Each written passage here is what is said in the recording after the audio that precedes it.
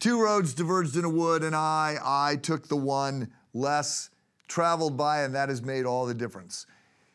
You likely recognize that as the start of a Robert Frost poem. It is also a great lead in to the first of the 150 Psalms that are found in the Bible. The book of Psalms, uh, which is this um, collection of prayers and Psalms, meditations.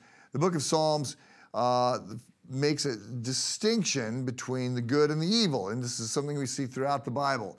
Uh, we see uh, we see Jesus talking about good trees and bad trees. We see Jesus talking about a, a wide road that uh, that is well trafficked and it leads to destruction, and a narrow road that is harder to go down, but it has a better outcome. All these metaphors are, are sort of in play uh, in a variety of places. They imply a choice, and they're very prominently displayed in Psalm 1, which is one of, I think, most people's favorite Psalms certainly one of my favorite Psalms. Uh, and it, it is uh, going to be instruction for how we can live well, how we can be happy uh, when life is going well, which is arguably more difficult than some people expect it to be, but also how to be happy when life is not going well. So, over the next few weeks for our morning uh, devotions, uh, we're going to be in the book of Psalms, which is a collection of prayers, again, that are found in the middle of the Bible.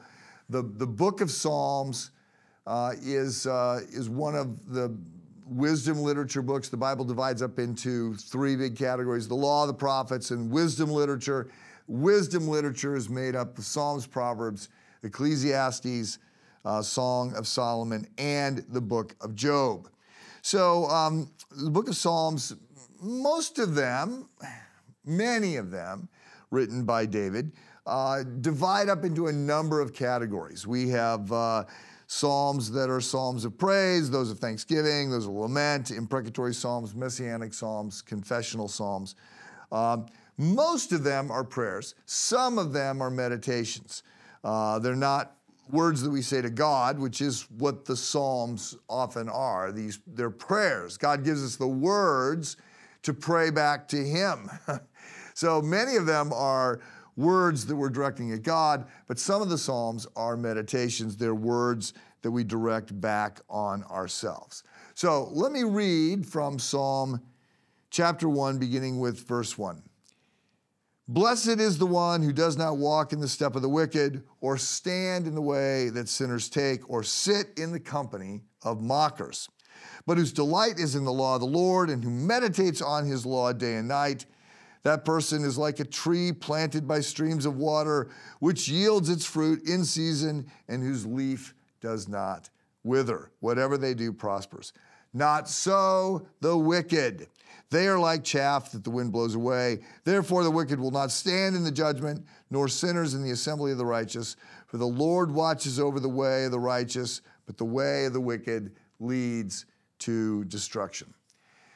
So this week I want to focus on Psalm 1, and we start uh, today with verse 1 Blessed is the one. And this in, in the Hebrew, the grammatical structure, this is like all capitalized with an exclamation point and it's written in bold. Uh, it, it is a, oh, how blessed is the one. And, and the word blessed is in plural, implying many blessings, right? So there's a there's a multiplicity of blessings that comes to the one. Blessed is the one who does not walk in step with the wicked or stand in the way that sinners take or sit in the company of mockers. Now, this is classic Hebrew parallelism, which is part of what we see in Hebrew poetry. You just are you're making a point and then you're repeating that point from slightly different angles. So it's not like you got to pull this apart and see fine nuanced differences, different points being made. This is making a point and it's making it from a variety of different ways. English poetry often rhymes words. Hebrew poetry tends to rhyme ideas. And that's what we see here. So there is this idea that you're blessed if you're doing the right thing, and if you're doing the wrong thing, you are heading down the wrong path. Uh, we see a progression of those who walk, stand, and then sit in the company of mockers and bad people who are going to pull you astray. And so there's this idea that sin is progressive and it pulls us down, and we need to not go down that path. We need to go down the path uh, of, of following God.